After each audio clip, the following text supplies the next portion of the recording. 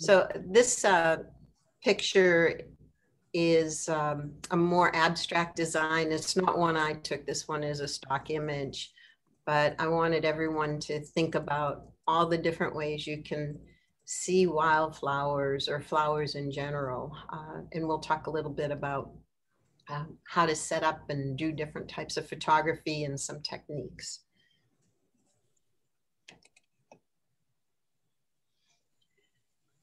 So to begin, my next screen is not a wildflower, but I just really felt like along the theme of haikus, um, I was over at Seven Bend State Park and they have a number of different uh, beekeeping houses there. And I got on the ground and I was, because there weren't many birds, I, I said, well, can I, can I get a bee in flight, which is not the easiest thing to do. So, um, and they have an electric fence around the, where the, the beehives are. So I was lying there trying to get through the electric fence and said, I can, I can get a picture of a bee. And the amazing thing about the bees, because they were start, you could just see they were waking up and starting to get active, and, and spring was coming. Is if you look closely on on this bee, it's covered with pollen. So we've got flowers out there. Um, there is there is pollen that's coming, and so it made me think about uh, the fact that we are now one year um, since the pandemic had been declared, and last year, one of the first presentations that, that we did after um, the pandemic was to talk about wildflowers. So it just made me think, you know, a, a year of despair, rejuvenation arrives as spring emerges. It just, it really does feel like we're starting to, to get that despair behind us and move on. And spring is such a wonderful time to do that and to reflect it in the photography that you do. So the first thing I'm going to talk about is um, in this presentation, what, where, and how, and what is a few of the of the flowers that do emerge early in, in the spring. And so the first flowers on the left are bloodroot. And if you look at that picture, you'll see the different stages of the flowers too. You've got in the back um, the petals have dropped off and in the front you've got the middle one is starting to lose its petals um, and this is taken from from above and the wonderful thing about bloodroot is that it has this leaf that's at the bottom of the stem uh, referred to as a basal leaf. And it just has this beautiful way of wrapping around the flower. And they're very very early. The some of the first flowers that that you'll see whoops will be will be bloodroot i'm to the next one is uh, in the middle is trout lily and the trout lilies also come about the same as time as the bloodroot and they have a really beautiful leaf at the bottom and this one is just a, a, a close-up of the trout lily itself and then the, the right-hand one are our Virginia bluebells. And I like this picture because every once in a while, the bluebells are not blue, they're white. And this one was taken at Eastham Park. Uh, and bluebells will, the leaves of the bluebells are starting to poke up. I'm starting to see the first signs of, of bluebells. Um, they're really, they're really a beautiful flower and, and um, so wonderful to see. Um, on the next slide, a um, couple of, of, different things, flowering dogwood. Um, and the flowering dogwood, the flower is actually the, the yellow in the middle and the white are called bracts, um, but we always refer to the white as the flower itself. Um, the one in the middle is Dutchman breeches, and I just love this flower. It's got such detail, and if you get the the light right on the Dutchman breeches, the, the flowers themselves are translucent. I'm gonna need to, um, if, if the screen keeps doing the auto, I'm going to have to go back and discipline it and change it. So sorry about that. Um, but Dutchman breeches, um, I see them at, um, at the state park, Shenandoah State Park. I've seen them at Cool Spring, not in the main area, but if you're familiar with Cool Spring, there's a metal gate. And if you sort of um, look down along that metal gate area, they, they were they were opposite that metal gate on the hillside. They tend to like to be on hillsides. So I'm going to, oops.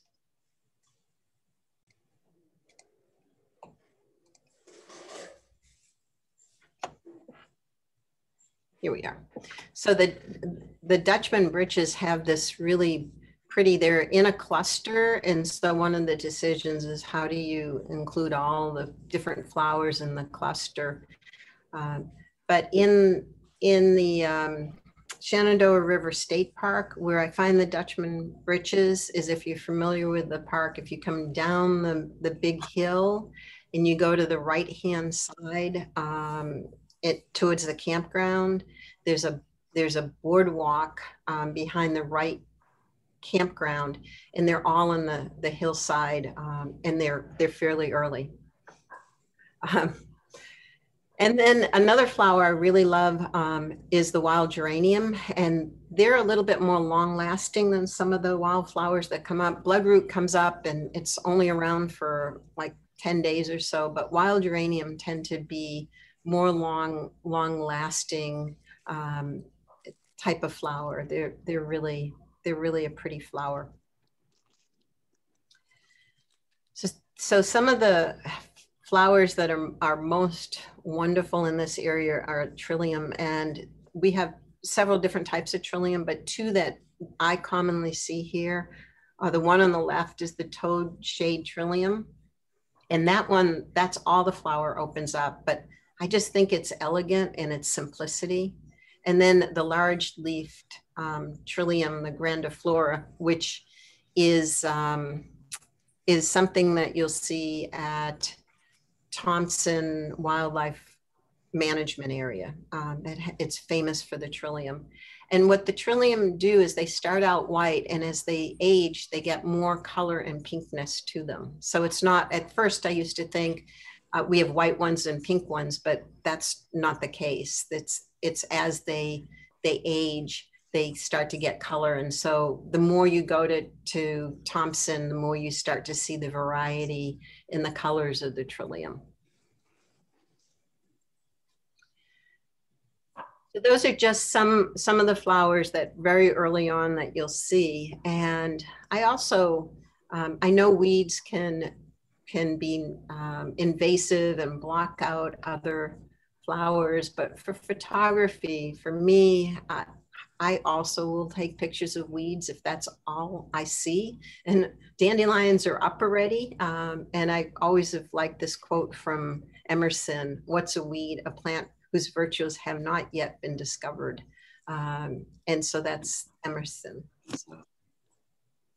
So where to find wildflowers? Um, and I've just listed some areas. There are probably many, many other ones. But the top area is Thompson Wildlife Management Area. And if, if you haven't been there, it's in Linden.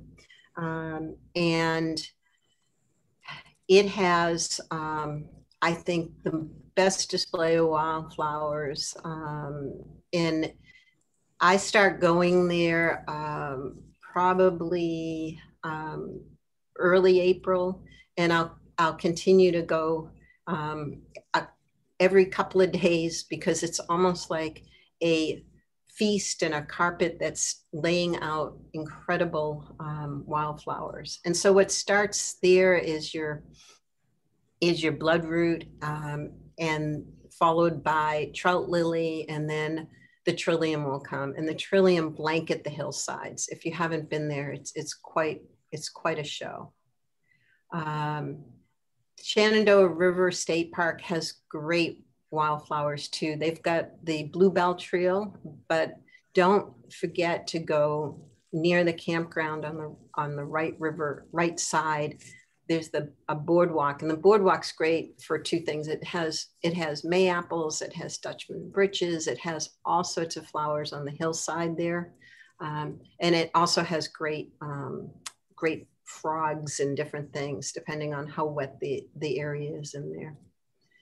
Shenandoah National Park has um, has over 862 species of wildflowers. Um, it's half of their vascular plant species that are found.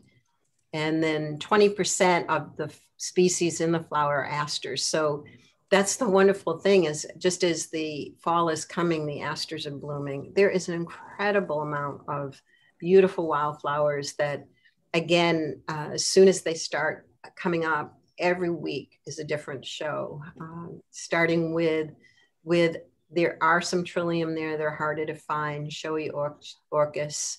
Um, but the big the big displays and when I really like to go to the the park is when the um, is is when some of the mountain laurel start to come out on the hillside. It is just exquisite. And then in the middle of, of the summer, you get you get the lilies coming out. when does the mountain so laurel come out? The, oh, the mountain laurel. You, in the other thing about this area is that if you start seeing it at the lower elevations, you can photograph it at the lower elevations. So our mountain laurel comes out, I'd say early June, oh. um, maybe the end of May. It depends on how how warm the weather is. But I have mountain laurel just down the street from me, so I oh, watch it here. And then I then um, I know that it's going to start evolving in the park because that elevation difference. Um, things bloom a little bit, a little tiny bit later in the park, depending. Oh, so the higher elevations, the later bloom.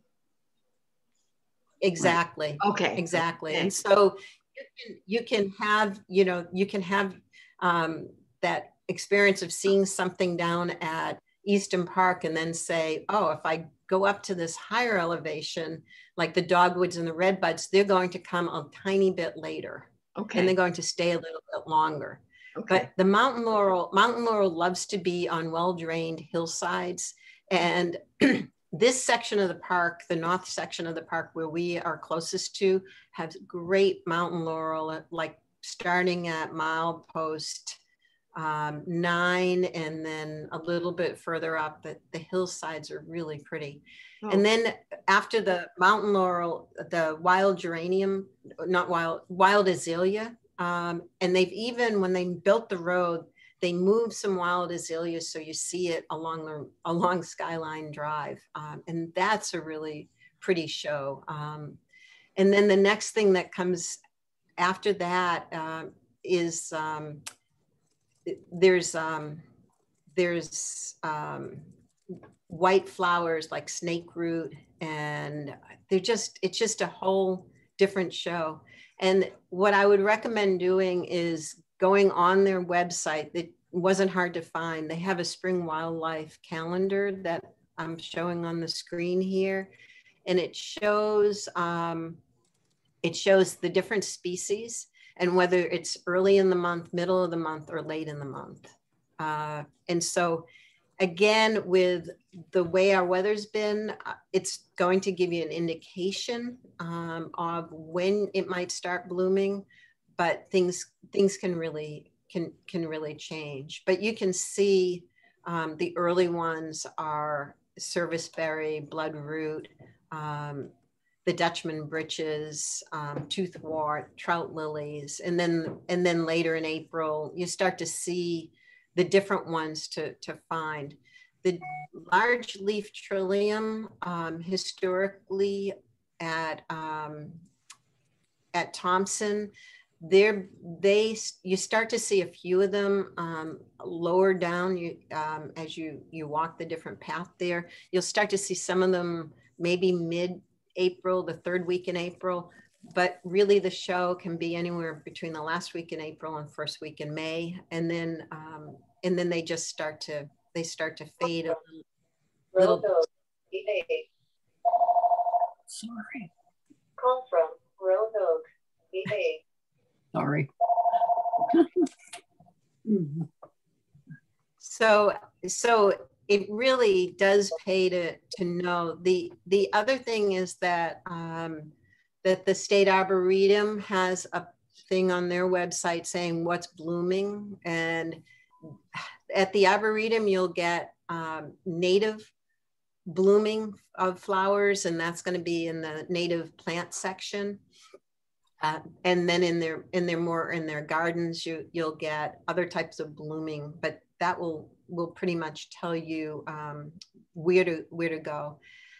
The, the national park used to do a wildflower walk um, and that used to be mother's day weekend. So the the peak for flowers when you get to the higher elevations like um, like the in the midsection of the park, uh, like St- Stony Man and Bear Fence and the little hikes that are that go up. Those are going to be May for for like the the most variety of, of wildflowers. And I don't know what their what their plans are this year. I I, I kind of don't think that they would do the wildflower walk. It when I first moved here 22 years ago, um, it was a really easy it was easy to get a spot in it and then it became really popular so um, eastham park and front royal uh, as well as any bottomlands are really are really beautiful for uh, being able to see um, to see virginia bluebells and the other places near Dennis and Manassas, um, the bluebells there uh, are just famous. Um, and we'll talk a little bit about the challenge of being able to photograph something that that's carpeting the, the ground like that. What do you what do you do with the bluebells? But definitely um, that Eastham Park has it has bluebells. Um, I've seen I've even seen a few trillium there. I've seen um, Jack in the Pulpit, which is one of my favorite little quirky um, plants, which is mainly green, and the males have a little little Jack pulpit. The females um, don't. Uh, the museum in the Shenandoah Valley. My guess is that the new hiking trails are a little disturbed, maybe from building, but that there will be more of the natural wildflowers along the hiking trails and their formal gardens are, are starting up and you know it's it's good to do there sky meadows um, also there's bottomlands most of the most of the um, flowers i'm talking about you'll find at sky meadows too and sky meadows and uh, shenandoah river state park and the new seven bends park all have um, have wildflower meadows that have been uh, planted and maintained. And uh, last year they weren't as well maintained because volunteers weren't able to go in. But um, the year before, th- there were just wonderful flowers all year round, and um, they both in Sky Meadows. Uh, um, I'm sorry, in Shenandoah River and Seven Bends their wildflower uh, patches are near where their beehives are too. And so you get a lot of, um, you get a lot of the pollinators coming in there. And, and so that's a great place to, to visit because you get different blooming at different time. And then the one I mentioned that I haven't been to, um, but encourage people if they ever um, want to get adventurous is to go to Dolly Sods wilderness area. I don't know if anybody on on the group has been there. The I, reason I, that have you been there, Janet? Yeah, quite a few times. Yeah, not recently, yes, but just not to interject, but what's unique about it, I, I started in college in ecology class. My professor took us up there because it's unique. It's it's a transposed Canadian environment. It has wild cranberries and flora, you know, that's more indigenous to Canada. So it's it's very unique. It's super windy. I mean, trees are just have branches at the top and uh, at the tree line at, at, on one side. So it's very interesting, very hard to find. Okay, that's good. Yeah, you know, yeah. Good no, I, I and um, it's it's actually subalpine, as as Janet's saying. It's it, you'll see species there that you won't see elsewhere unless you go to Canada or, or um, British Columbia or Alaska. So um, it definitely, if you're feeling adventurous, that's that's one of my goals.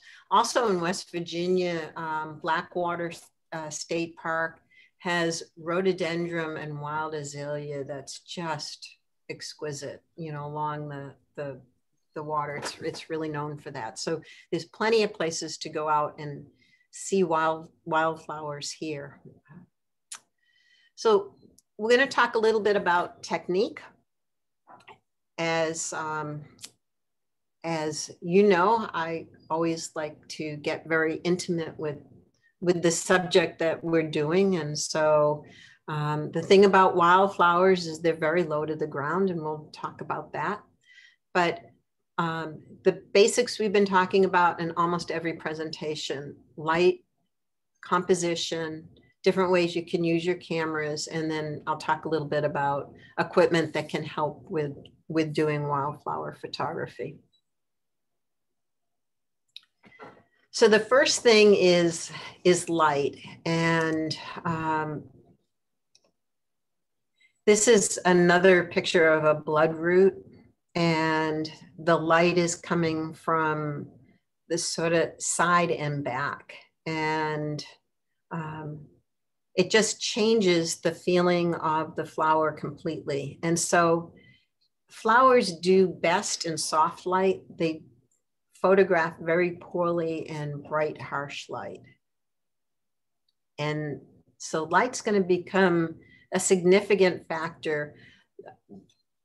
Last year, we were um, in supposed lockdown, and what I was doing when I was going up to Thompson, because it was like, I can't miss a year being there. I've been doing it for 21 years. Um, is I was going at, at dawn. Um, there were there were times when the sun was rising, and I could see it through the woods just to avoid um, being um, being breaking out of, of uh, lockdown here and being in trouble.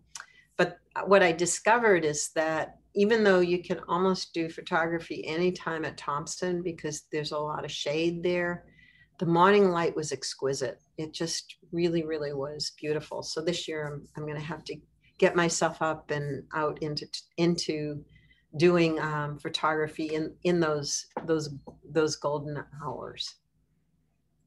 So the next slide, and I have a number of slides from um, this one source, which is um, uh, CanadaNaturePhotographer.com. They have a whole um, they have a whole little booklet on on wildflowers that's really excellent. Um, but as I said before, the best light for wildflowers is soft, diffuse light. Um, the harsh light just will um, you'll lose all of your details and your highlights. Um, and so you really don't, you really have to be careful with light. Um, and you can create light if, if you don't have it.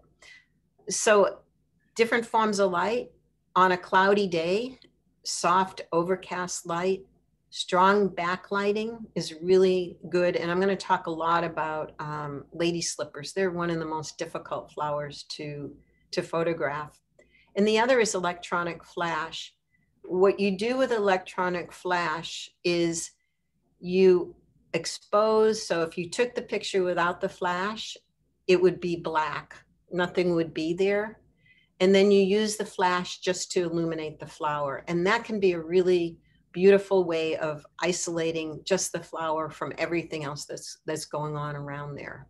So what you do is first manually expose, take a picture. If it's all black, you're good. Then put your flash on and now you just have a picture of, of the flower itself. So that's a technique to use. So one of the important things is that you need to control the light. And First thing is the way you can control the light is go when the light is just slanting and beautiful and golden hours, either early in the day or late in the day. You can shoot in shade. A lot of the of our wildflowers like to be low and in shade. Um, the the Dutchman breeches are always on a hillside. Uh, so a lot of times um, you can find flowers that are in the shade. The other is to bring an umbrella along, like even a small umbrella and pop it up and filter the sun with the umbrella because it's it really can help. And then if you Uh, Any color umbrella? Does it matter what color the umbrella is? lighter's a little bit better so it's a little translucent you're trying to create like like soft clouds above Okay. Um, and they even sell and i have these little pop-up little round things that you can you can place. So you're filtering you're filtering the sun.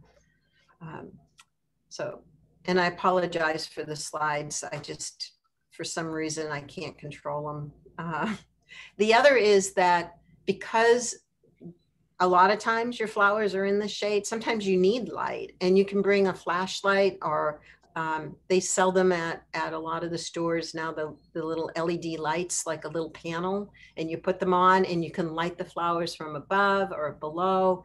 You can light through this, through the petals. So you get the uh, vascular structure of them. So I always have a, a little bit, a, a little light and I have this little Lumi light that was very expensive um, but the flashlights work just as well. So I, I usually have a, a few things with me to try to try to do that. Sometimes even asking somebody to stand and create shade also works too if you don't have an umbrella. hey, hey, you stand there. You were shading and it was okay. And then you add light back. So the next thing is composition. And a lot of times we think about composition with big mountain scenes and things like that. But composition with, with flowers, I think, is really, really important. Um, and it can be very, very difficult because flowers, um, it's not like um, taking pictures of, of your family group and you can compose them. Flowers will grow where they want to grow. And a lot of times they're growing in this confusing mass of stuff, you know, so you have to, you have to be careful about which flower do you want to do. If you've got, um, like, especially with the Dutchman britches, which are in these clusters, can I, can I find the one that is on the edge so I can just isolate that one flower? Um, and it, sometimes you don't want to isolate, but a lot of times I like to isolate and only have one flower in my story because you want to draw attention and you want to remove distractions. Um, so this picture, this one is um, a wild columbine, which comes in, I'd say June, July up in the park. Um, maybe even later, maybe July, August, I'd have to look. Um, I love wild columbine. I take it from every angle. I take it from below looking in. And um, sometimes I, I think of the top of it as little joker hats. And sometimes I want them perfect. And this one, one's folded down and, and an angle. And they will, the, the columbine will be along uh, Skyline Drive on those rocky outcrops. And here I just looked for one that had trees or green way in the background to soft to have that soft background behind it. But it took a long time walking around and saying, can I find the one that doesn't have other parts of of Columbine that's going to be hard to remove from the picture.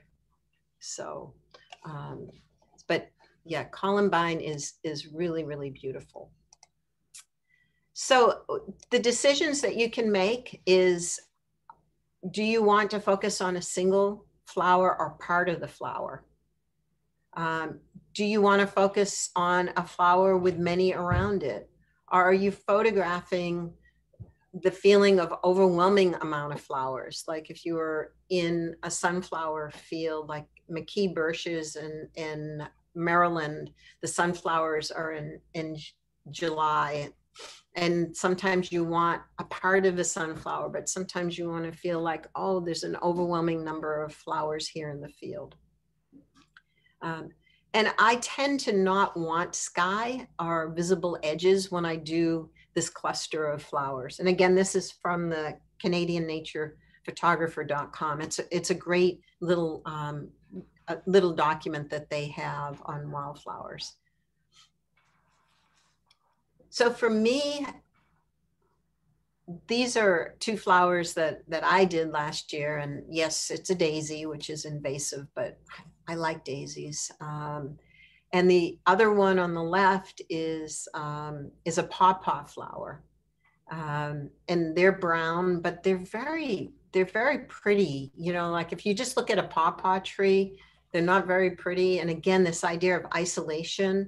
And there's two pawpaw flowers there. There's the green one that hasn't bloomed yet, and then there's the pawpaw flower on on the right hand side. Um, and I like the I like the detail of the um, bark in that one and the simplicity of of that. So my style a lot of times is can I find the flowers that I can isolate and have simplicity in the picture. Um, the daisy on the right, the the um, background is grass, but it's far enough away from the flower that it, it just blends and adds a nice texture to the background. The, the other thing that I find people will do when they go out to start to take pictures of the flowers is that they tend to get stuck either taking the pictures all horizontally or all vertically. And the story changes based on how you hold your camera. You don't need to take them all in one direction. In fact, when you go out, the wonderful thing about flowers as opposed to birds is they're sitting there. The light may be changing a little bit, but you can say, I'm going to take this one real close. I'm going to take this one um, portrait. I'm going to take this one horizontal. So shoot in both both directions. Don't limit to only one type of plane of direction when when you're photographing. Um, get creative uh, in how you do this. So the, these are pictures taken with my my um, iPhone, I think. Maybe it was. Um, and I always look for distractions and then I'll remove or clean the scene around those distractions. I will never pull out natural um, natural things around that flower. But if it's a piece of grass that doesn't belong there or a leaf, I tend to clean clean the scene up a little bit. Um, and the most important thing, if you see, I'm going to go go back, is you see on the picture that was on the left, there's this um, sort of line that's going from the front flower backwards those are little branches. And I find, particularly when I'm up in Thompson, that these little branches that are behind flowers that are lying there, they're not attached. I'm not breaking off a real tree, but those little branches pick up light and they're really distracting. So you'll see me on the ground and I'm, um, I'll take a picture. And sometimes I don't even see them until I look at the picture in the back of the camera and I say, oh, if I remove that little tiny twig that's sitting behind that flower, now I don't have that line coming from that front flower. It's as simple as a tiny little branch that's that's changing and picking up some highlights in the in the picture. So take a picture, look at the back of your camera, see if there's something that's catching light that that can be removed from the scene without um, damaging any vegetation. Insects, butterflies, and I would add birds are always a plus to flower photography. Um, the um, the black I I summer is black eyed Susie's and I love black eyed Susie's. That was taken at uh, the Shenandoah River Park in their pollinator garden, not last year, but the year before. Um, both of these pictures were taken in pollinator gardens. The one on the, the right, I think, was taken at Sky Meadow. And I didn't even know that little spider guy was there until I, I got the picture back and looked on, on the computer. And, and I love it even more because of the spider. Um, it just, it tells much more of a, of a story. And you can, you know, I got so close to the, um, the flower on the right that you can see the pollen tips and the, the pollen. The other thing that adds is um, water and dewdrops on on flowers. They just make them so much more texture and interesting. And so if you had um, a morning where you had um, rain overnight or, or dewdrops, um, they definitely um, can can light up and, and make leaves and flowers really, really pretty. Um, and what I'll do is um, I will bring a little water bottle and I will actually add a little bit of dewdrops. Um, if I'm photographing with other people, I'll, I'll always say, has everyone taken, taken their pictures? Um, and if everybody's ready, then I'll, I'll add a little bit of, of water um, just to, to change and, and add some interest to the, to the pictures. And then this one was a, a a stock image um, that I showed when we did the abstract photography. So getting abstract with the flowers is okay too. You know, if you're sitting there and you've done all of your pictures and now you say, I'm going to go super close and just take a really interesting part of the leaf and the flower. Um, you don't have to be realistic. You know, that's a that's a choice that you make as you're doing this. Am I focused because I want a perfect picture of the flower? Am I taking a picture of, of the flower, real size, with a reference point so I can identify it later in my books? Or am I doing art? And you can do both. That's the, again, the wonderful thing. Those flowers are not running away from you. Um, and you can start to see shapes and lines and color and, and get creative as we did in when we did our abstract photography. And again, um, art versus realism. Um, the picture, if it's come up on your screens, the next picture on the left um, is a combination of um, red bud and dogwood. And the way I did this all in camera um, and I did it with my telephoto lens. I was walking down the street and I saw these beautiful red bud trees, uh, and behind them were these dogwoods. And what I did with my telephoto lens is I focused on the dogwood fl- flowers and bracts. And because I was far enough away, what happened is that with depth of field, remember um, depth of field will will affect the foreground and the background.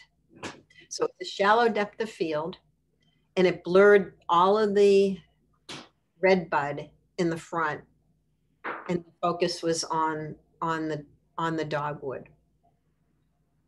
So that's a that's um, a technique you can use. You can do it with grass that's in front of flowers or other flowers so that uh, you have a yellow flower in the background and a yellow flower in the front.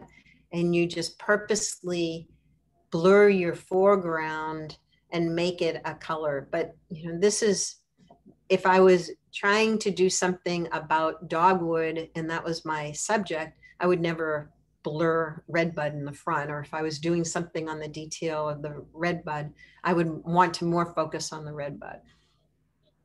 Um, and again this is a tiger lily um, in in shenandoah national park and that has a lot of detail um, all the way from the top of the flower to the little dots to the way the the um, stamen and pistons are are hanging down. Um, so again um, do you want to do abstract? Are you doing more realism? And you know challenge yourself and do a little bit of both. The other thing is do you want to do the whole flower or part of the flower? Um, you know sunflowers are great for doing just these details um, because the actual if you look at the sunflower, it's a compound flower, and look at all the little tiny flowers that are, make up a sunflower in the middle. Um, and so you can decide how much of it do you want to focus on. The picture on the upper upper right hand area is a mayapple, and if you're familiar with mayapples, uh, they started these uh, in April as these beautiful uh, green leaves, and then the flower is underneath them. And it's it, it, for me impossible to take a picture of the, the top umbrella and the flower. And so in this one, I decided I just wanted the story to be about the Mayflower itself and not worry about um, taking a picture and getting that top sort of umbrella that was in there. Uh, and then I did in um, post production do a lot of blurring of the background. But again, um, it may be hard. Uh, if I was teaching a class on Mayflowers, I probably wouldn't take this flower. I would try that way. I tried to take more of the identifying elements. And then um, the beautiful thing that we have at Thompson is we do have lady slippers, and they are probably the most difficult flower to to photograph there for a number of reasons. They they grow in, in clusters. They, for some reason, always have poison ivy around them um, when I'm trying to do them. If it's bright out, you don't get the detail of the bulb uh, if you take it straight on, um, it's sort of not a pretty flower. It can they, it can look really weird. it's got a lot happening to it. It has the leaves going every which way at the bottom, and has the the flower itself, and then it has these things that are coming down from the flower. It's really difficult. It takes a lot to um, get in the right position, um, and if you've got a lot of sun um, with these lady slippers, they tend to they tend to get a, a, really bright highlight area on that front bulb area, but it can take a lot to do them.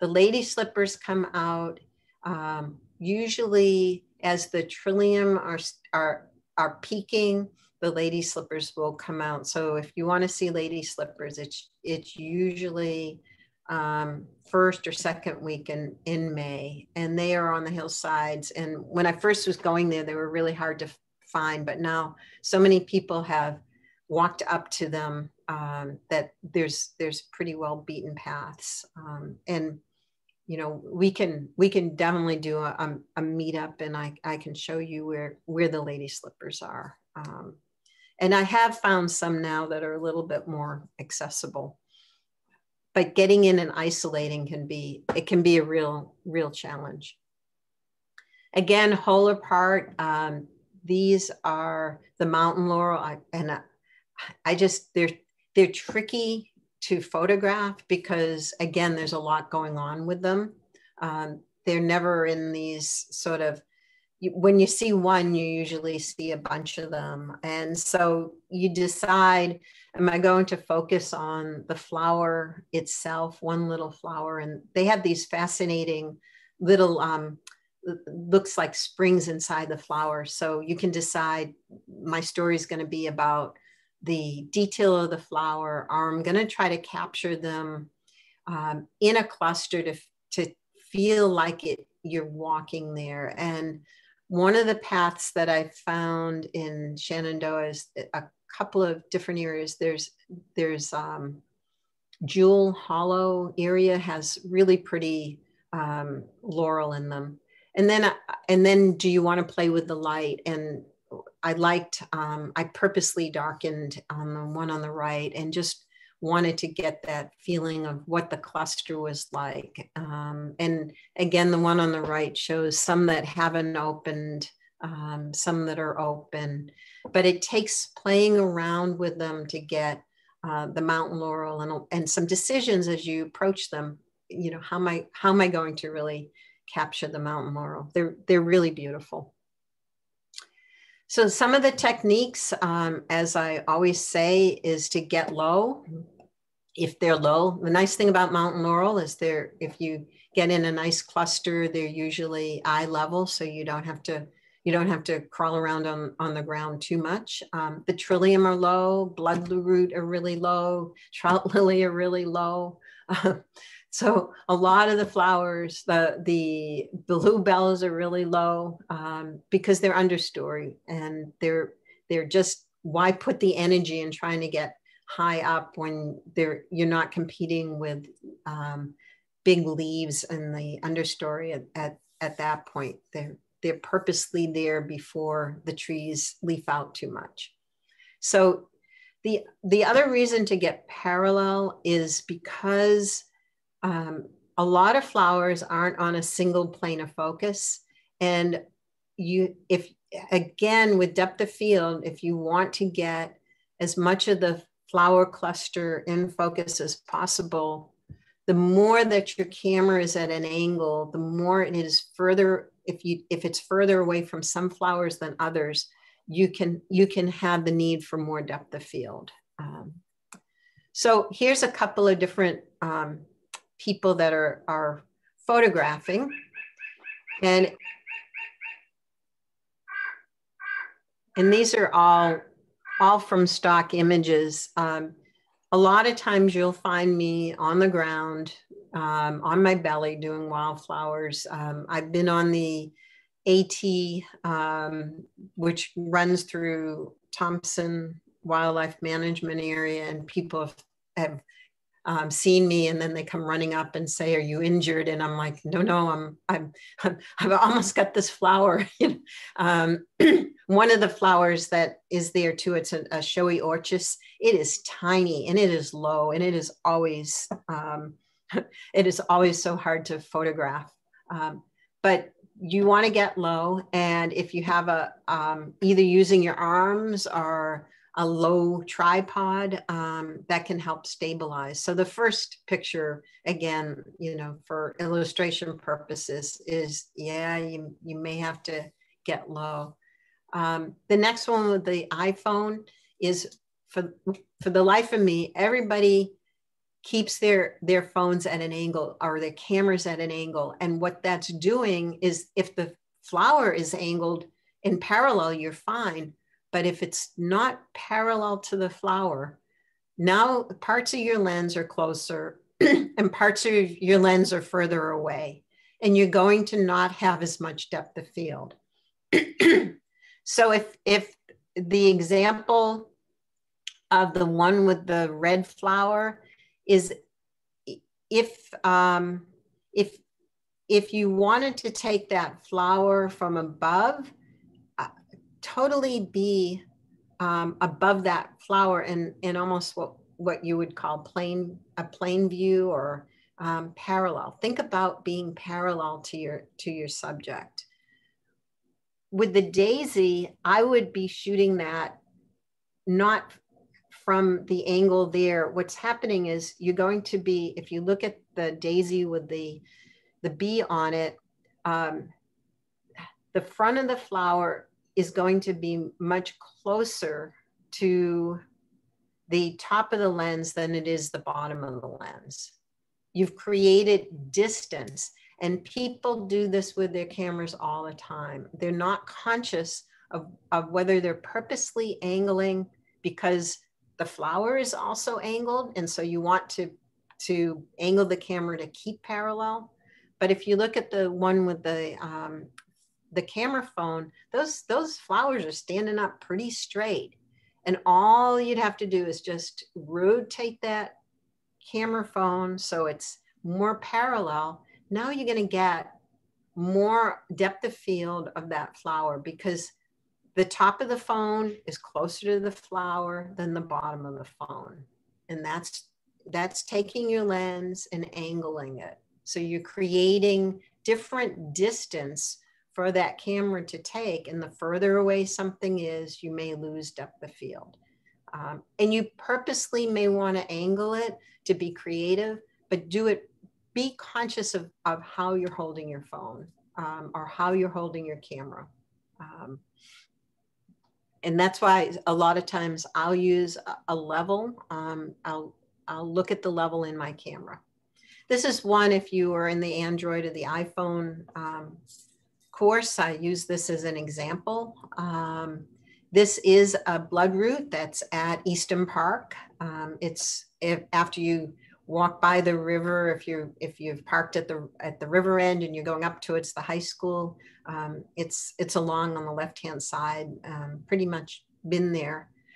But if you do the typical thing of standing above it, you're going to get with your camera phone, you're going to get everything in focus because that camera phone wants to focus on everything that it can see in its lens. Um, so what I did is I used the rock to tell the camera phone there's nothing there's nothing to focus on further behind and i tried to get as parallel as i could down on the ground with the blood root so going back to what i was saying about removing distractions um, there's no reason unless you want the story to be about the blood root and the sticks um, if i was taking this and taking a little bit more time i would carefully remove the oak leaf to the right. I'd remove the stick behind it. You can see how um, the eye starts to go to the lighter areas of sticks too. So I will carefully clean an area. Um, and then if I find something that's a really, um, there is a jack in the pulpit that lives along that trail too. And I have clean leaves around it. I take the picture and I put the leaves back because I don't want anybody to pick it.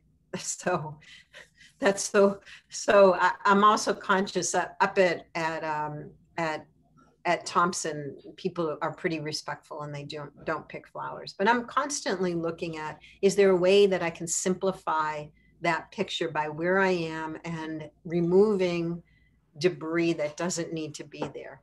And then that little tiny green leaf behind is another flower. I wouldn't pick that you know so i'm, I'm really i'm trying to be ethical and not destroy things. Um, so get close. You need to learn how close your camera and lens can focus. And, um, and you can see with this trout lily um, that the front area of pollen was in focus. And I was so close that even the other um, the other areas of pollen, they were all falling out of focus. And I had a lot, I had a lot of depth of field on that. A macro lens, um, both on your camera or your phone can really work well to do more, more close-ups.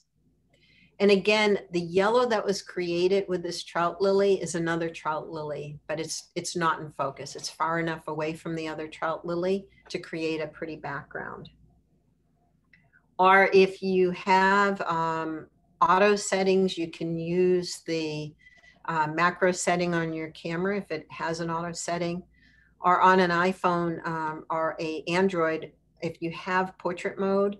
Um, portrait mode on those phones make you step further back from the subject. Um, and I also discovered on the Android, some of them even have a food setting, and the food setting was doing some really interesting things to flowers.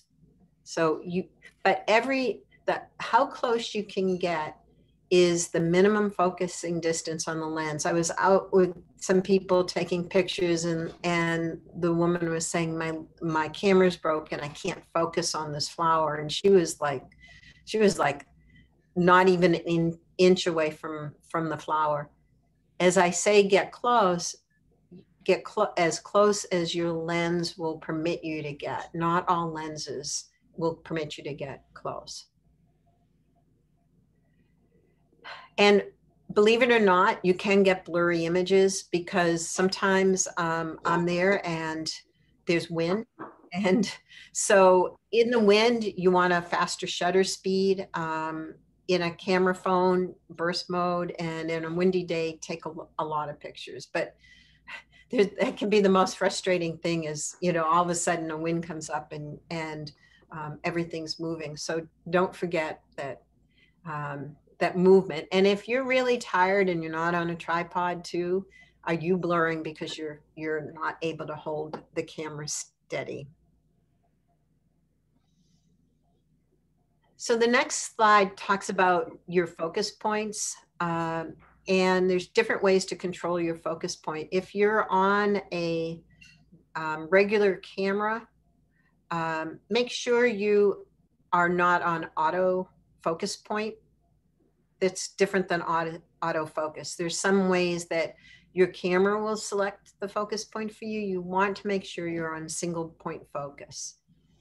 And you can either focus and hold the focus and move it or move your focus point to that area on the flower that you're trying to focus on. So if your focus point is in the center, but your feature is down and to the right, move your focus point. Make sure you know where your camera is focusing, particularly if you're close up. Um, I've just seen a lot of times where people have, have missed the, the focus point, especially if you're on, if you don't have a lot of depth of field. On your camera phones, you can control your focus point by tapping on the screen and then locking that focus point. The picture on the right's an Android. The iPhone is just a square and it also has a lock. And it, when it's white, it's been selected. And when it's yellow, you've held it there and it will pick that focus point. And it's really important because flowers can be complex and you can control those focus points. That's the first, that's the first thing you want to do. And both with both cameras, if you lock your focus point, you can recompose, you can move your camera left or right, but don't change how far you are from the subject that you're taking. That's the advantage of being on a tripod. But if you have the time, change your focus point. So with the um, silk flowers there, if you want the focus point to be that front flower, lock the front flower, stay on it. Then if you want it to be a back flower, lock it and change it. Same thing, move your focus point on your on your regular camera from down into the to the right front to the top. You know, be conscious of where your focus points are. Um, that's real important. And on your camera phones, um, on your on your macro lens, most of them don't zoom. I have taken wildflower pictures, a lot of them on my one to 400 because it does have a, a macro focus. If you're using a zoom camera, it's sort of counterintuitive. A lot of the zoom lenses or the built-in zooms are best focused when not at 100 but at 400 when you're zoomed out completely. But play with your zooms and see where it's catching that that focus as a detail. On the camera phones um, a lot of them now have zoom features. On the iphone on the left your standard zoom um, for close-up is 2x but if you tap on the 2x this um, dial will come up that's shown on the bottom and you can get closer. The 0.5, the one is is actual and and two times are your your optical lenses in the 11 and, and also in the 12 and they are the best they are the best resolution but i found that as opposed to zooming in to take a picture of a mountain using the in-between um, settings on the 11 and 12 do work, do work fine. I found on the Android that I was playing with that the 3X was one of the best for close-ups. Um, and you can just, on the on the newer Androids, it's it's the number of, of trees that you see.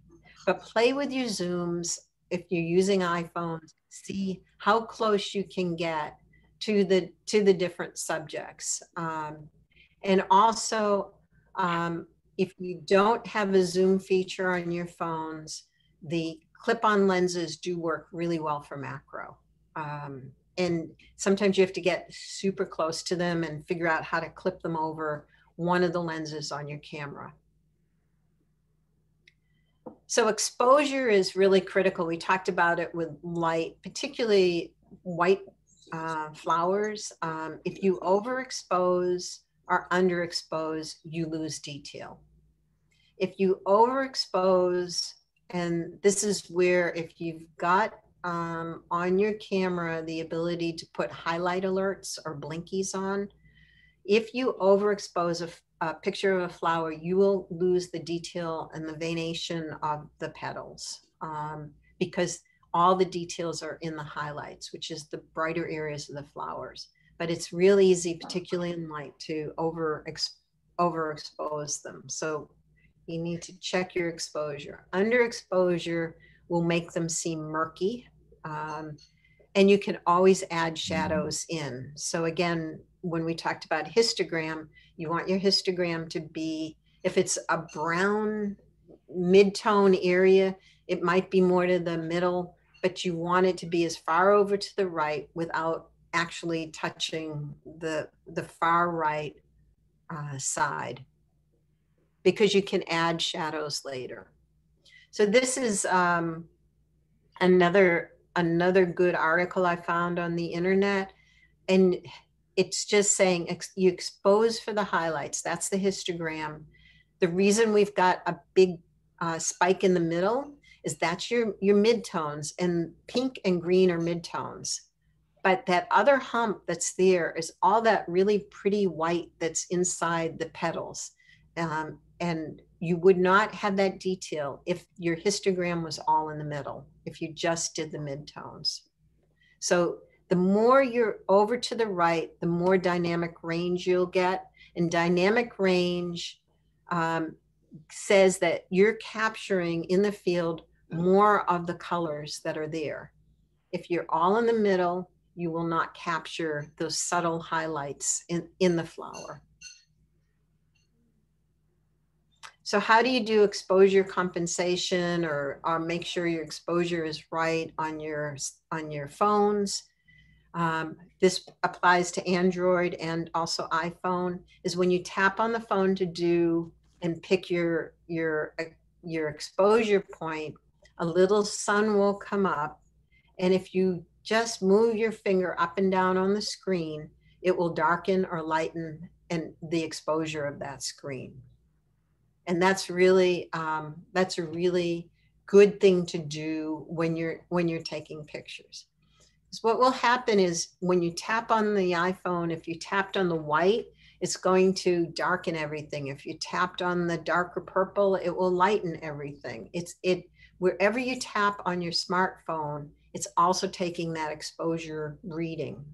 Um, if you are on a on your regular cameras most of you are on um, on matrix evaluation and it's taking an average of the whole screen.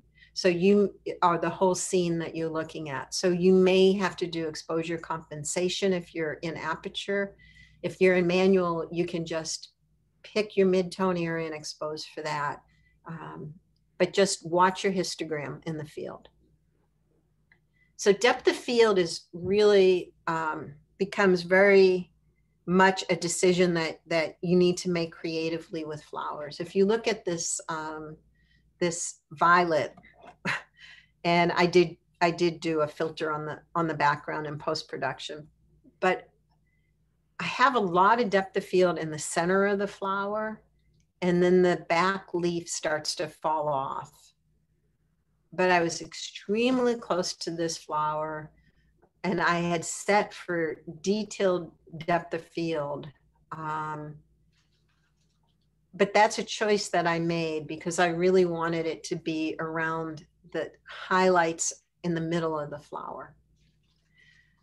So a quick review on depth of field. Um, and a lot of the presentations that we did earlier are, are posted. Depth of field is the aperture opening in your in your camera lens. It is not in the camera body. It is in the lens.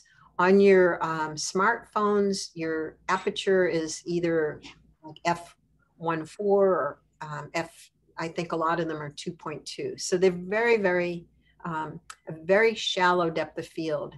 Um, and what the picture on the right is showing is that as you, your f-stop increases and you get more depth of field, that aperture or the little hole that opens up starts to get smaller and smaller and smaller. And when it gets smaller and smaller and smaller, that means less and less light is coming into the actual camera.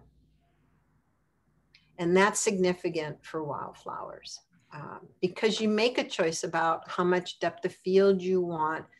If you have a complex flower, if you're really close to it, a lot of times you need a lot of depth of field to capture from the front of the flower to the back of the flower.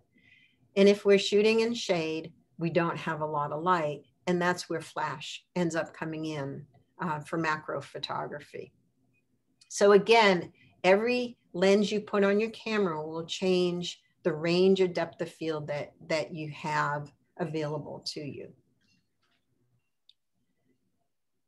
So this is a, another um, illustration on the next screen that I, I got from the internet and another good site to look at.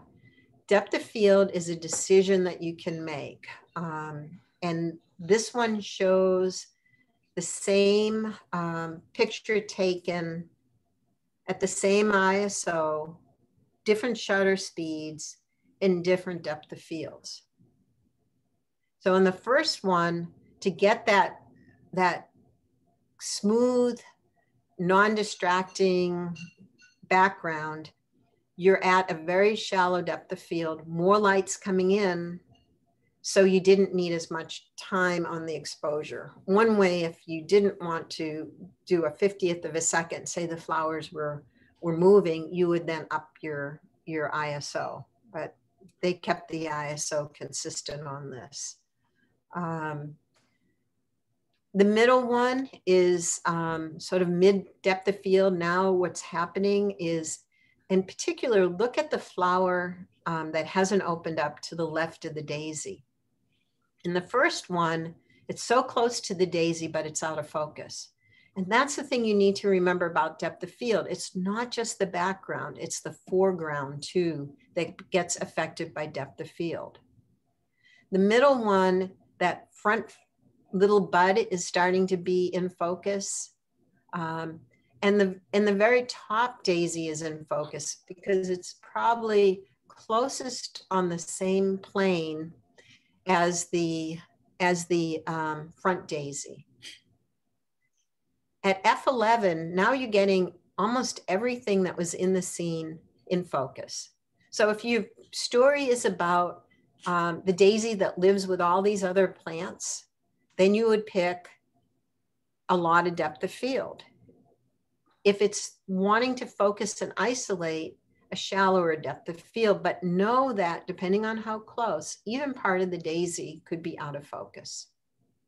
So that's a choice that you make. That's the most creative choice if you've got a lens that allows you to change depth of field that helps you with your photography. And if you're in the field and not sure, do it at, at different depths of field just to see the difference.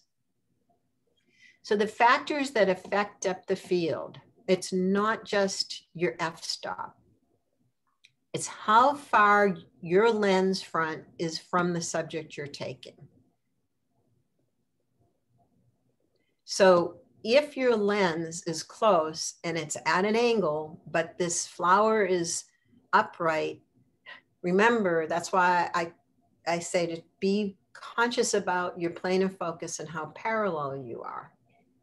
So it's it's how far you are from your subject and this is important too when you start to try to use your camera phones um, but but know that affects it if you want that pretty green background how far is the subject from its background how isolated is it so if you remember that um, that lady slipper I found an area where a lady slipper didn't have another flower right behind it, but green behind it. And that takes that takes some practice in the field and some vision of being able to say, you know, I'm going to get the flower and knowing this lens and knowing my f-stop, I know that the background will blur. It's a type of lens you have too. Um, if I'm having a, a, my macro lens versus my, if I'm shooting a flower with my telephoto lens, which I do, I get, I get um, less depth of field with my telephoto lens. It will compress depth of field. And again, that, that plane of, of focus. So here's two practical examples on the next page on choices on depth of field. The picture of the dogwood bracts and the flower itself, I was with my um, 100 macro lens. I practically had the lens sitting on that front bract of the flower. So it's incredibly close.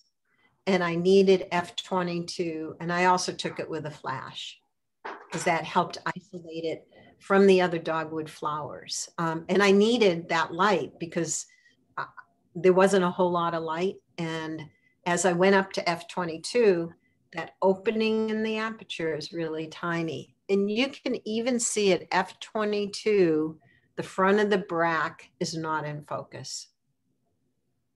So a lot of people think of depth of field as being needed because there's a big mountain scene out there, and it's not. If you've got a wildflower that is going from foreground to background, and it's the whole story of that flower, and you want to get as much of it in focus as possible, you need a lot of depth of field. The bluebells, on the other hand, um, I took that with my telephoto lens lying on my side, and that's at f8.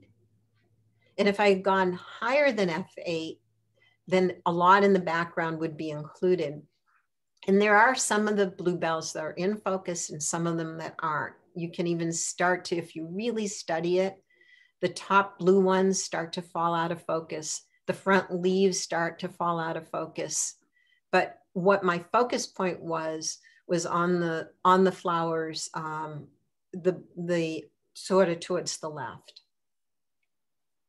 So when you're out in the field, what you want to do is is play with it. You can vary your depth of field. And again, this is from the um, Canada Natural Photographers site.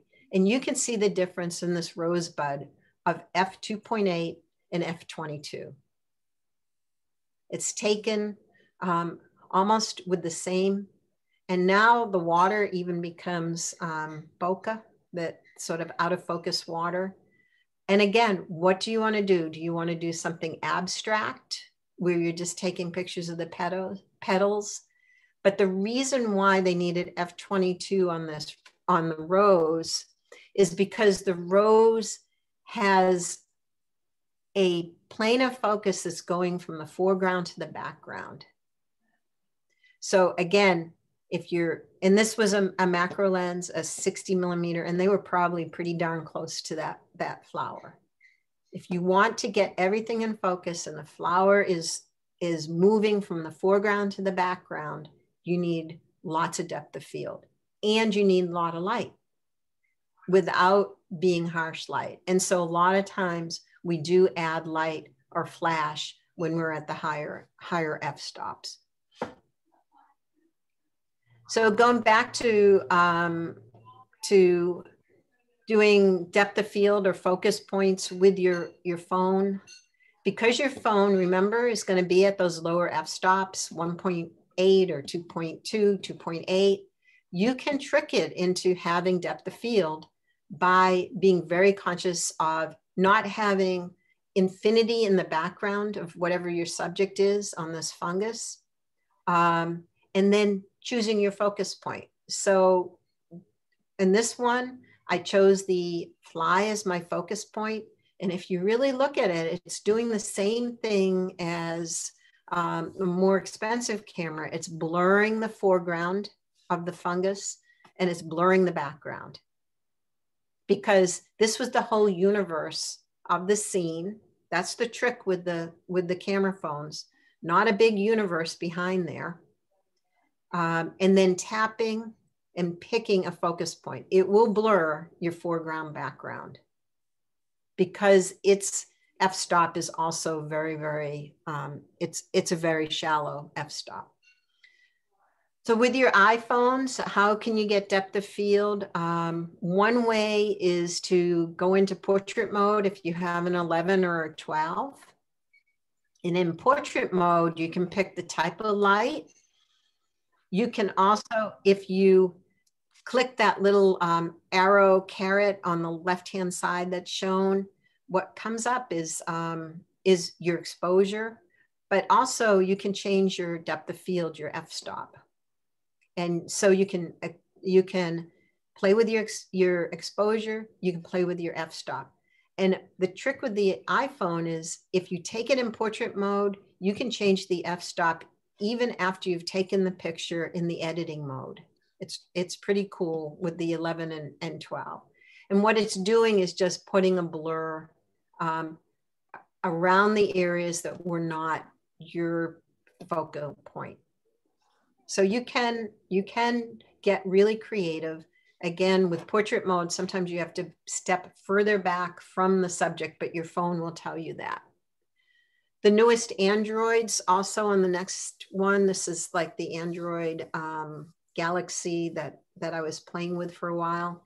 If you go into portrait mode, in your editing, you can then put all sorts of filters on it. You can do selective color, um, which is really fun to do in, in editing later. Um, you can say the only color I want is yellow.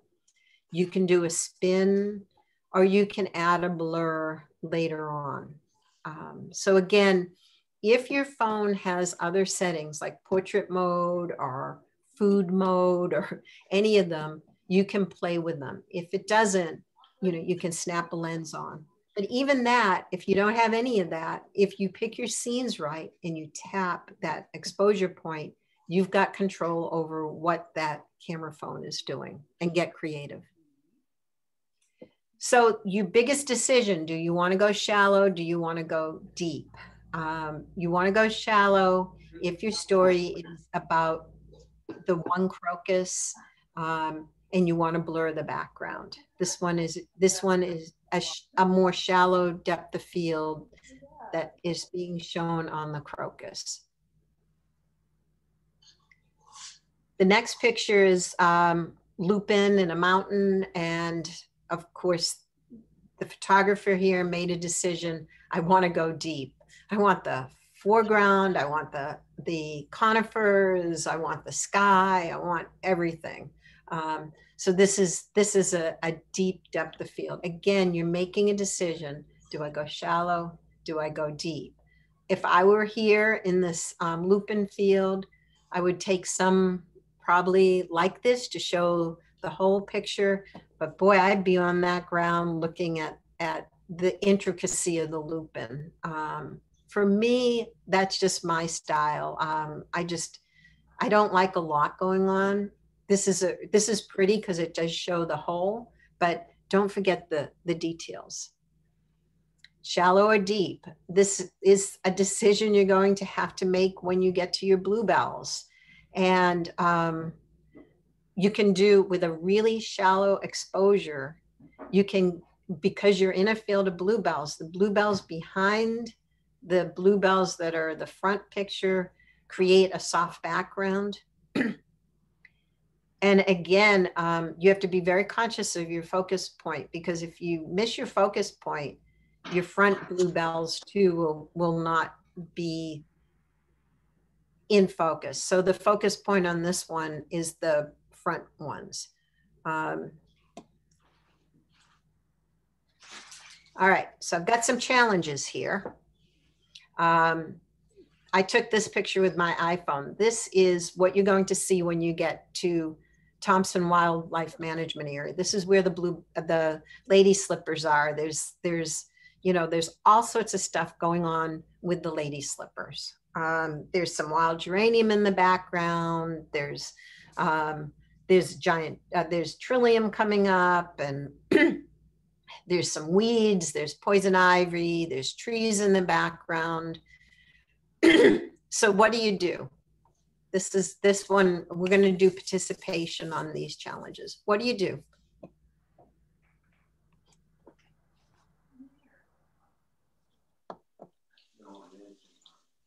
Well, if you use a low f-stop, then you can start to wipe out the stuff in the back. That's one solution, low f-stop. Anybody else? Zoom in on your subject. Zoom in on the subject. Yep. What else? See if you can use an umbrella or another person over on the other side to shade so you don't get direct sunlight. Yeah, because the sun's this that's that that's what happens with these um with these lady slippers is, is the sun comes through and you get this sort of you get this sort of highlight area in, in the bulb. Anybody else? You can run the ISO up and then use a flash. You could flash so that you just have the the um, the you you block out the background and you flash, and it would be some trial and error. Okay, so what I did um, is I said, in this case, um, you know, and I never got rid of the highlights. These, this one, the highlights are sort of blown on the flower. I mean, they are really, really, really tricky um, to do. But what I did instead is I said, I'm just going to try to take it from the top down. So, you know, is this perfect? No. But what I wanted to illustrate with this is as you're standing there, think about all the tools that you have. You've got f-stop, you've got shade, you've got all sorts of things, but you also have different angles. And sometimes changing your angle um, can create an interesting picture. Is it my favorite lady slipper picture? No, because I've got I've got lady slippers that I've, I've managed to do the the whole um, the whole picture. All right, so these are pictures that I I got from stock images because I, I really my goal here is for everybody to start thinking strategy.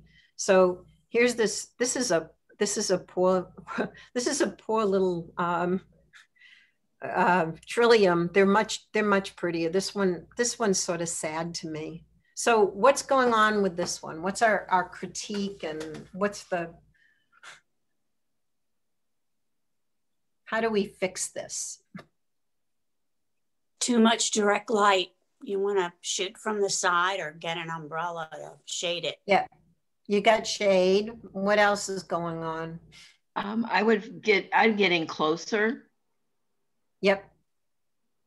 Yeah. And so, you know, there are some, there are some, when you walk in Thompson, there is some trillium that you just go, oh, that one is just beautiful. This one's not, this one's sort of, this one's sort of not as pretty as some, but what would interest me um, is the lines that are near the yellow there. I probably would go really, really super, super close on this one and just do the angle of the yellow and the, the lines coming up. I would take away the um, the white flower on the left corner or or basically yeah. put a vignette of dark around this whole thing so it just focuses on that middle. Yeah.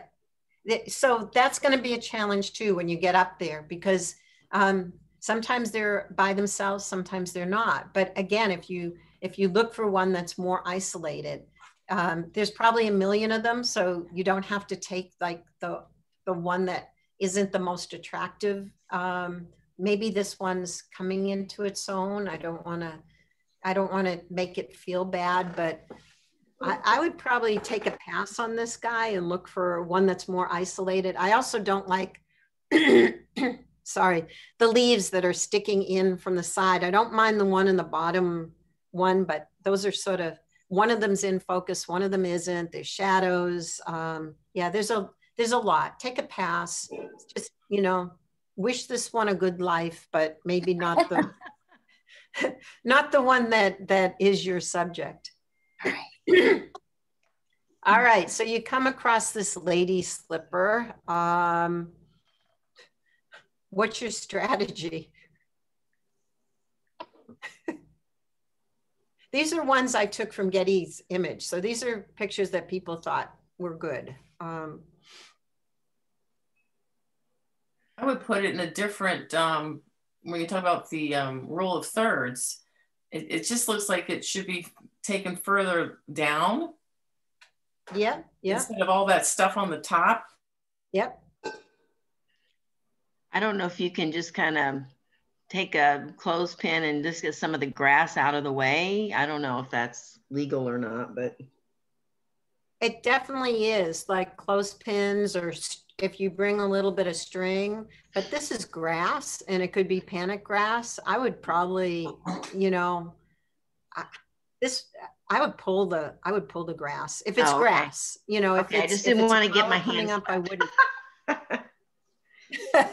no, no, grass. Um, there's a lot of invasives. Um, that's the one thing when you go up to Thompson, you're going to see a lot of garlic mustard, and um, the yellow mustard is native here, but garlic mustard is horrible. And you know, I'm I always pull as I'm hiking garlic mustard and try to stomp on it or you know get it from the the roots. So if it's an invasive species and you know it is, get rid of it. But um, you know, because I or or if you there have been times where I just you know will use a little bit of a string.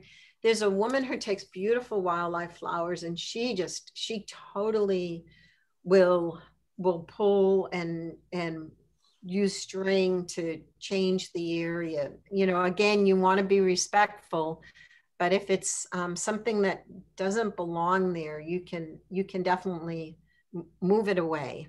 Um, so here's here's what the bluebells are going to look like in um, either Shenandoah River Park or a lot of places. Um, here's your here's your bluebells. Um, so what's our strategy here on the Bluebell Trail?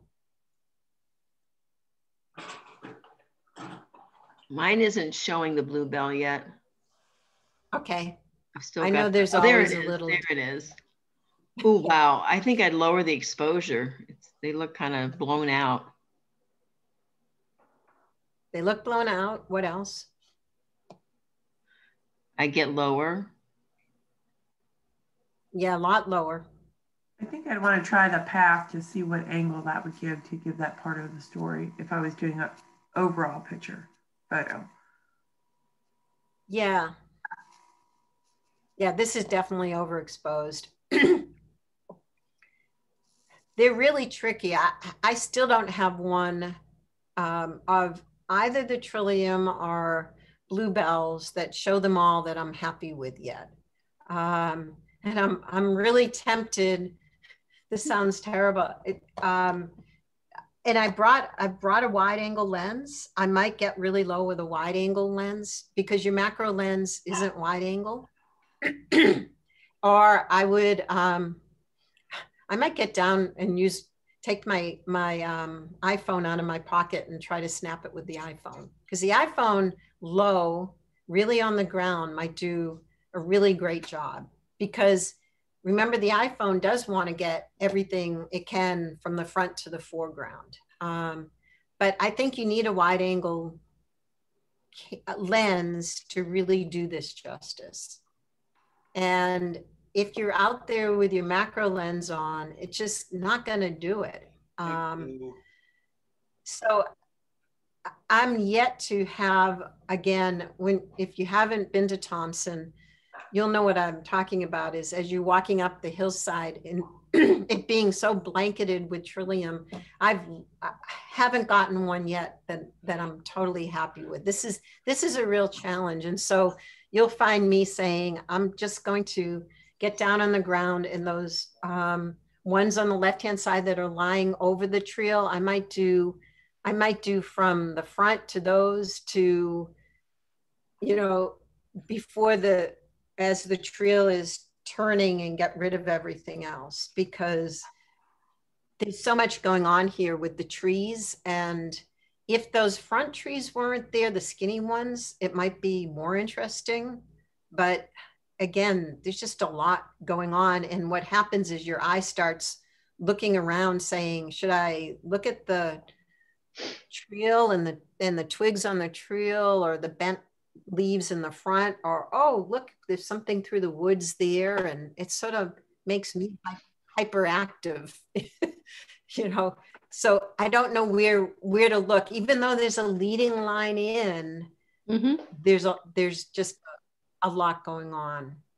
But you you're going to face this. This is what you'll see. So a lot of times i'm trying to do more little isolated clusters if i want to get the feeling of of being in the bluebells or Mm-hmm. um, it's it's just tricky. Or even trying the the foreground bluebells with a more shallow depth of field hitting maybe uh, the you know focusing mid instead of front. Um, but this would take a lot of ex- experimentation for me to get something that i'd say yeah this this is is i'm happy with this and you so want to do it because it's when you're there in a bluebell field it's not one bluebell it's all of these bluebells and you want to give the the viewer that feeling of being in there so that's going to be that would be a good challenge for everybody is can we solve the problem of an attractive field of bluebells? Um, there's one that um, if, if people know um, uh, Tim, the, the PR guy from, from Blandy, he, he won one contest with an iPhone picture of bluebells through the woods, but they were straight. There was just a straight field of bluebells, and he cut the and there was a nice uniform set of trees, and he he only had part of the trees, and that gives you that feeling. So I, I know everybody wants to do the path through the woods, but it may or may not work for for bluebells. So the next one has a, another bluebell challenge. Um, again, a Getty image close to what I like to do with my bluebells, but this picture has a few challenges to it. So what do you think's going on here? If, if it's come up on your screens.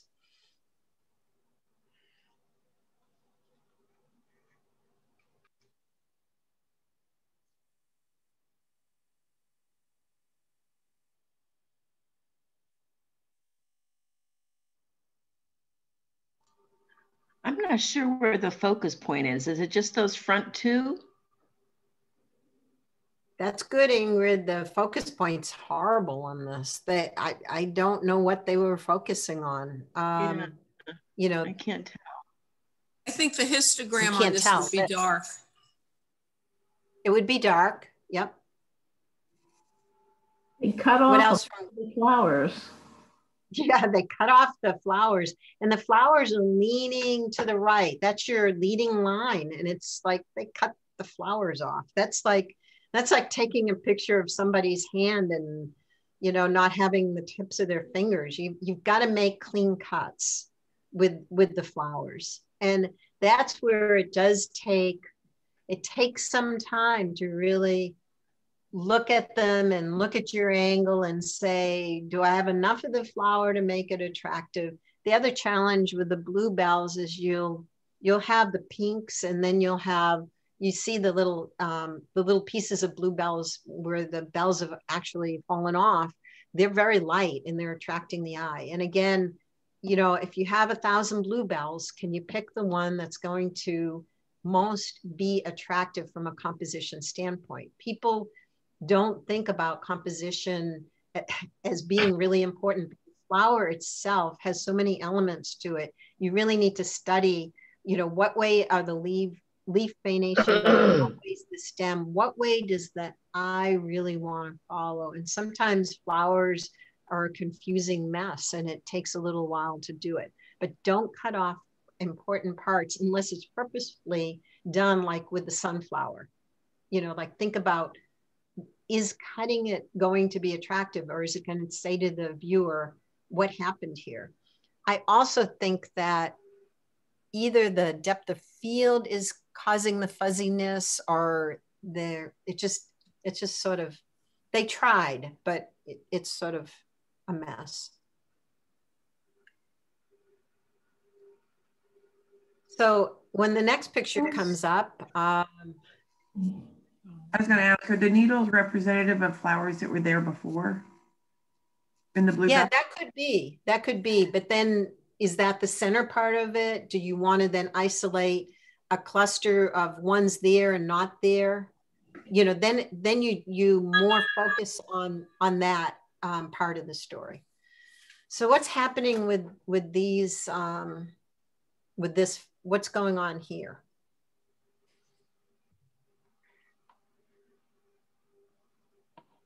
And the flower on the left's kind of distracting. hmm if you wanted the flower on the left what would you need to do I'd probably back up a little bit. You or else I'd up? only have half of that one. I would like kind of have it falling off the picture to the left. hmm technically what could you do if you wanted both flowers Oh, you'd have to, um, you'd probably change, either change where you stand or change your f-stop. Correct. Yeah. This is, you know, this this can happen, you know, the the from the angle of the flower, the front ones mostly mostly fine, but the back one, you just, there wasn't enough depth of field. If you're going to have something as a big distracting blob, it either has to be part of it or not part of it. Um, you'd either have to really drop your f-stop or change your angles so you don't have them on on different planes of focus. But this is what can happen uh, because of, of f-stop. And people would say, well, you've got a fuzzy picture. It's not your it's not your shutter speed or anything. It's it's the f-stop dropping off. This is a depth of field problem. Um,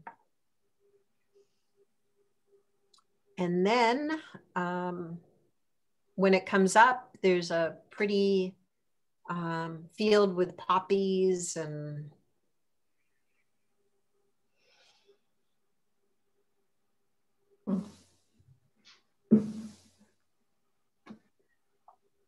Any thoughts on our poppy field if it has arrived on your screens?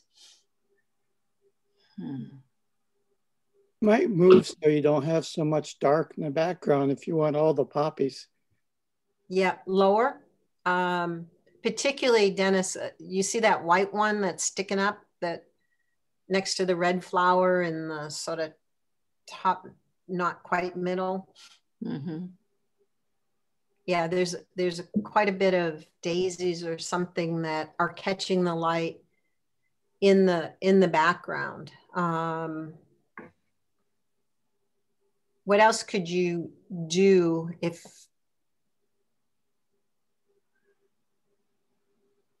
I'd like to see all of them in focus that are lit up because your background's blurred, but the front's part blurred and part not. Yep. Yeah. So, so Ingrid, you're right. Go one way or the other. Yeah. Uh, either focus on that front poppy really close and a very shallow depth of field, and you would get potentially a really pretty bokeh background with reds and yellows and you know it could be it could be really really it could work depending on your lens. Um, or um, go with more depth of field so you can see everything. Or as dennis is saying get rid of more of the background. Um, you know just isolate more i would have gone vertical but that's the go vertical yeah. Um, As opposed to take it horizontally framed it, I would have gone vertical. Yeah. Or even, you know, when I'm looking at, you know, even step, um, and this will be hard to describe because um, I, I want to like, like show you, but I would maybe take it on an, on, I would maybe go to the left and angle all the red in low um, because there's less of that tall stuff that's hitting light in the background. So a lot of times I'm just I'm just moving around a little bit and looking through the camera. And again, these flowers, the light could change, but the flowers aren't running away. So, you know, like look at it and be strategic and say, what if I move this way? Will it create a nice blur in the background? what if I want it to be about that one tall poppy over on the left side? Um, one of the things I haven't talked about is sometimes I like taking pictures underneath flowers, looking up through them when there's light like that. You could do a really cool thing under that tall sort of poppy with just looking under it. Um, and that's part of the problem here too is we've got some some perspective under and some is some is sort of straight on. So i might do the whole thing underneath and see if i got a really cool effect underneath. But this is the type of thinking that i really want everybody to think about is that as you approach it you know take some time. Um, and flowers can be it, it can be an overwhelming scene and you just need to sort of look around and say is there a way to move and get creative? Um, you know the do i want to isolate? Do i want the whole? Do i want to go close? What will my equipment let me do Okay, another challenge, which is, um, this looks like a different Columbine than our Columbine, but it's, it's a Columbine. Um, so what's happening with, with this picture when, when you get it on your screen? Distracting flowers in the background. Mm-hmm.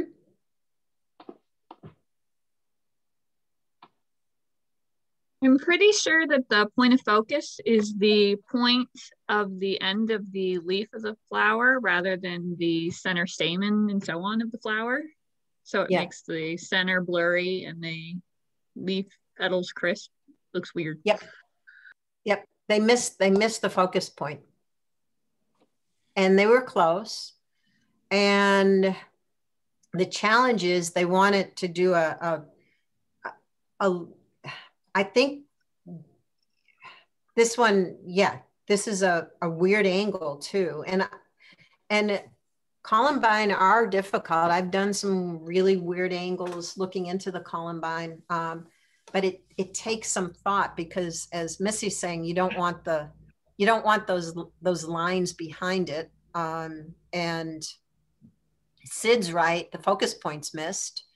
And then the depth of field, weird things can happen when you don't have a lot of depth of field, but you're close. You either want to get it translucent completely or you get this sort of weird vibrating sort of not quite in focus look of the stems and, and the highlights. Um, so yeah, this one has a lot of problems and I don't, it's almost uncomfortable. You know, if you're looking at it, you sort of, you, you don't know what to do with your head and the flower doesn't look comfortable to me. It just sort of makes, makes me uncomfortable.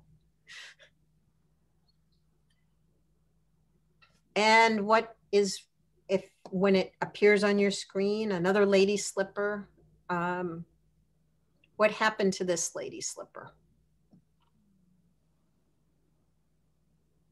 It looks a little overexposed.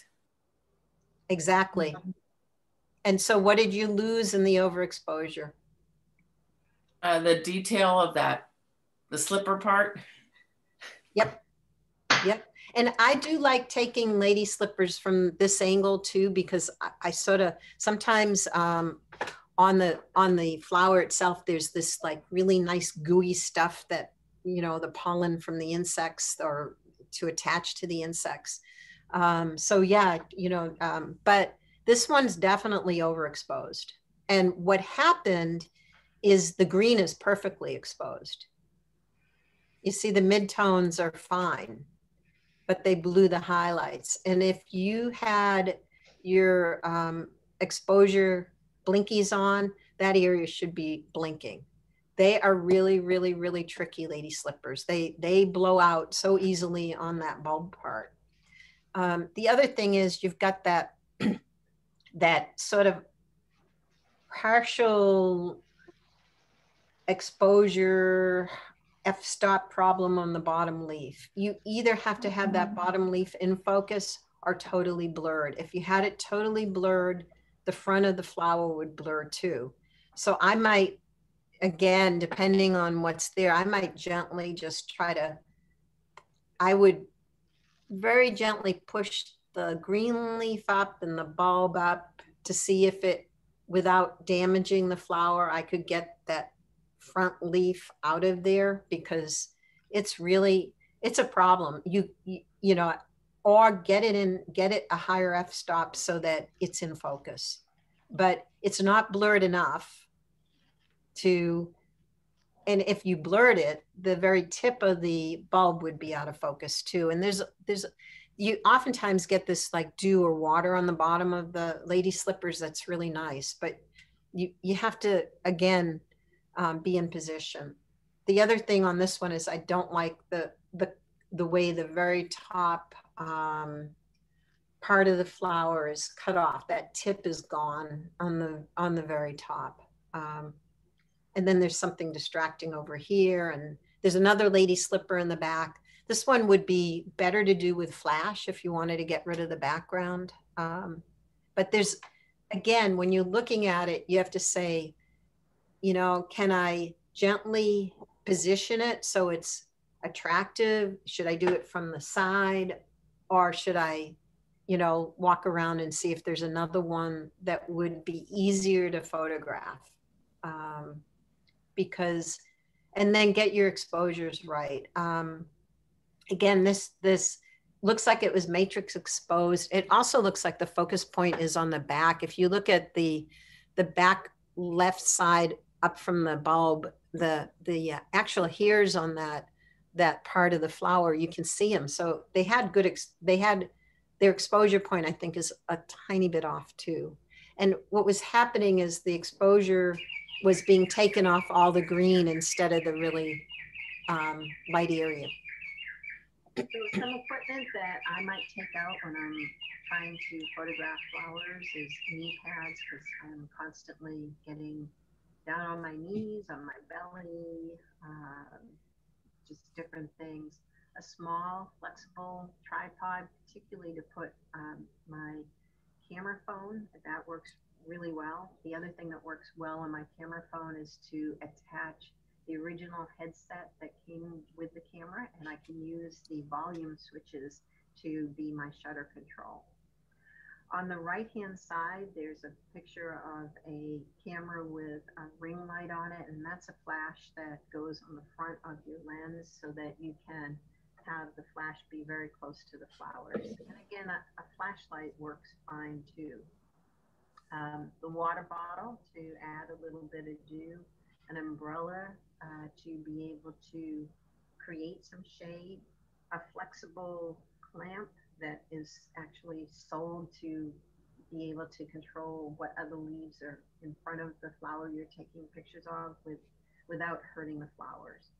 In the middle bottom is a lens that fits onto a camera phone and then uh, there are some reflectors that you can use to control the amount of light and the direction of the light and even the color of the light coming on your flowers. But a lot of times I just walk out with my with my camera phone and my um, my camera with sometimes I'll again use my telephoto lens. I don't even do a, a setup for flowers because if a bird flies by, I want to be able to take a picture of that bird too.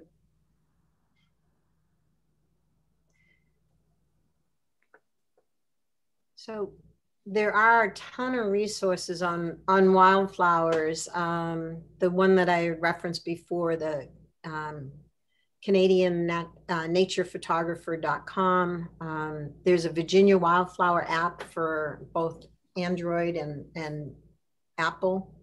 Um, the Virginia Native Plant Society. And um, there's also iPhone photography school has um, some information on photographing flowers. So there's a ton of stuff out there, always um, good resources.